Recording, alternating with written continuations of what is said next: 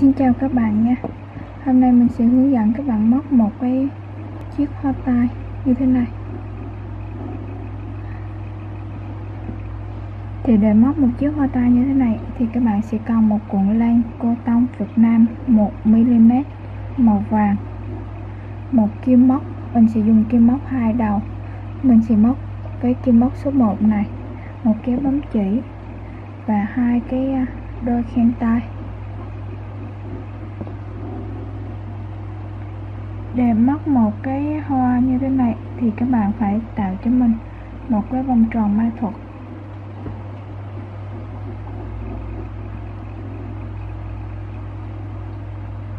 một, hai vòng. Các bạn lấy ra. Cho qua. Các bạn kéo cái sợi qua. Giờ các bạn cút lại và móc vào trong vòng tròn ma thuật này cho mình. 8 mũi đơn 1 2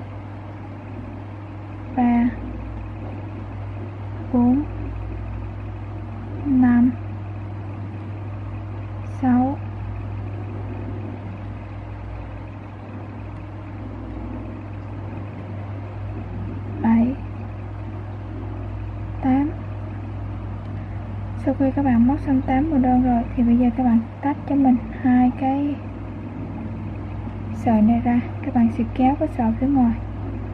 Kéo cho mình lại. Các bạn cút lại. Kéo cái sợi thứ hai cho mình.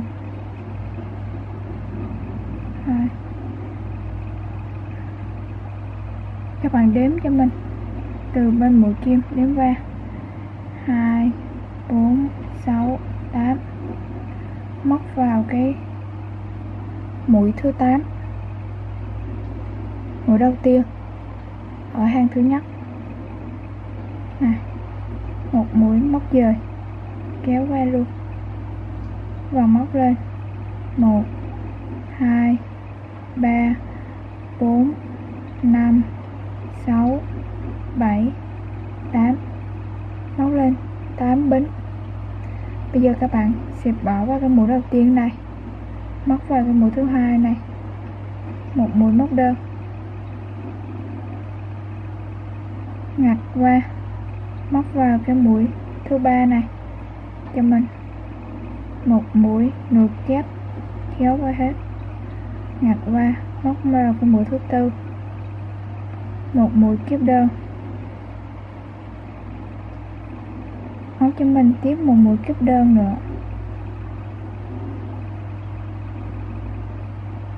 Móc cho mình tiếp một mũi kép đơn nữa là ba mũi kép đơn. Móc cho mình một mũi nửa kép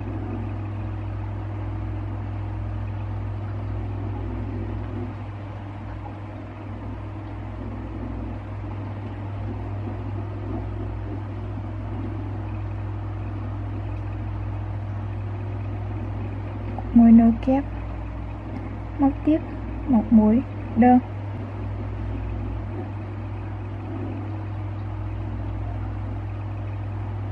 rồi. bây giờ các bạn sẽ móc cho mình vào cái trong móc đầu tiên. Vị trí này, móc đầu tiên.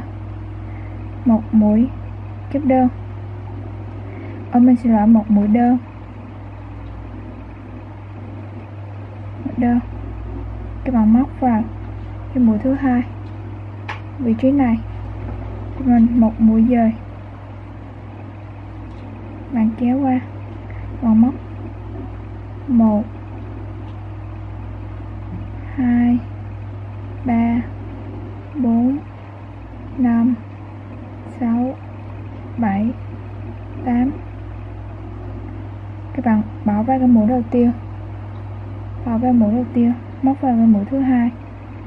Một mũi đơn. Móc vào cái mũi thứ ba cho mình. Ở vị trí này. Một mũi nửa kép.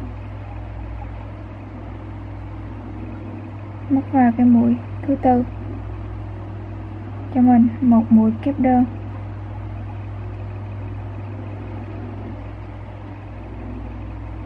Móc vào thứ năm, mũi thứ năm một mũi kép đơn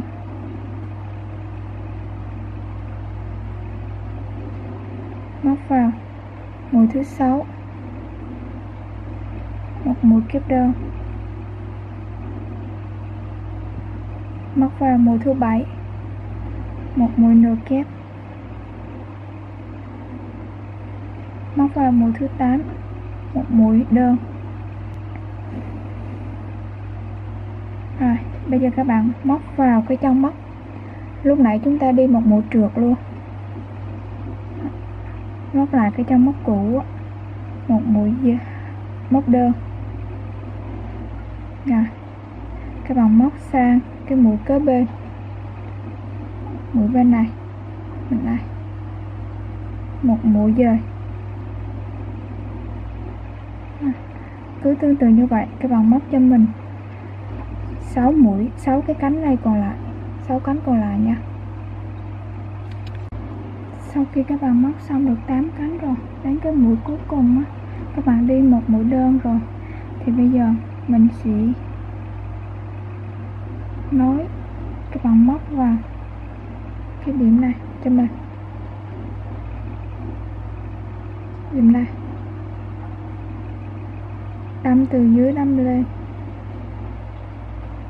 đây này. Các bạn kéo cái sợi này qua. À. các bạn gì lấy cái sợi này kéo qua.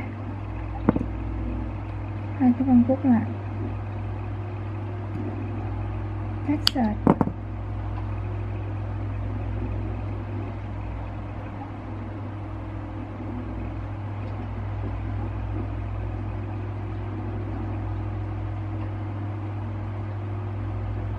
rồi chúng ta được một cái cánh hoa như thế này. Bây giờ các bạn sẽ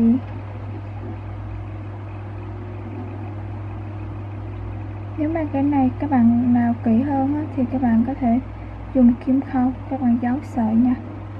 Bây giờ mình sẽ cắt luôn ở phần này. Lúc lại cắt luôn ở phần này.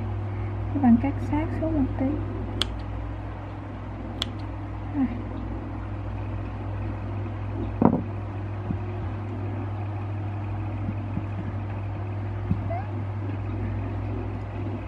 Các bạn sẽ ấn cái cái cánh đây như thế này. Thì cánh nó sẽ thẳng ra.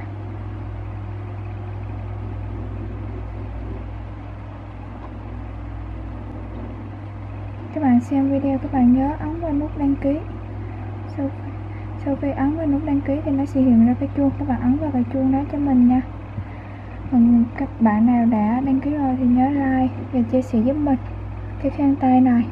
Bây giờ các bạn sẽ cho vào, cho cái đầu kim vào, các bạn đẩy mạnh đẩy mạnh thì cái khăn tay nó sẽ bung ra. Nó sẽ bung ra một lỗ như thế này. Đó. bây giờ các bạn xỏ cái cái cánh hoa vào. Khi xỏ, các bạn phải chú ý đỡ cái khăn tay xả vô con lỗ tay ấp xuống. Cái bạn móc vào dây cái phần mặt của cái hoa nó sẽ ở trước. Rồi, sau đó các bạn dùng tay các bạn bóp lại. Còn nếu các bạn nào có kìm đó thì các bạn bấm dùng tay các bạn bóp lại rồi, xong.